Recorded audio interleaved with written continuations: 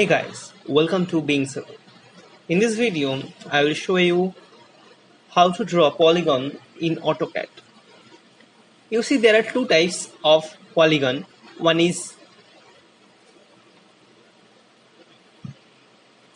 in AutoCAD, to draw a polygon, you have to specify whether it is inscribed in a circle or circumscribed in a circle.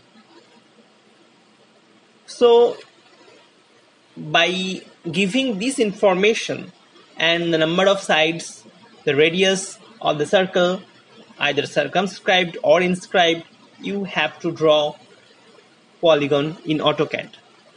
So let's start.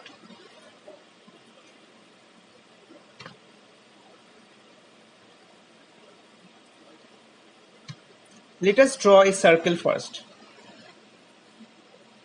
of radius 100 unit. I want to draw a polygon. To draw a polygon, you have to give the command POL, hit enter. You see, it, uh, showing the enter the number of sides. Let us give 7, hit enter. Specify the center of the polygon. Let us give the center as the center of the circle you see enter option inscribed or circumscribed. For inscribed, press I and for circumscribed, press C. Now we have to choose the radius. You can select at any coordinate of the circle or give the radius.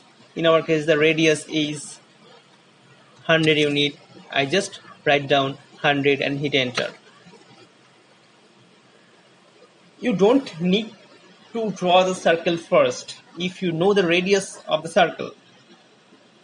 You don't need to draw the circle if you know the radius of the circle. Now I want to draw polygon circumscribed to this circle. Giving the polygon command again the the number of side is 7 center of the polygon is as the center of the circle. It is circumscribed so giving C. Radius of the circle is 100 unit. You see this this polygon is circumscribed to the circle. It is a very uh, easy method to draw the polygon in AutoCAD. Hope you like this video. Thanks for watching this video subscribe my youtube channel bye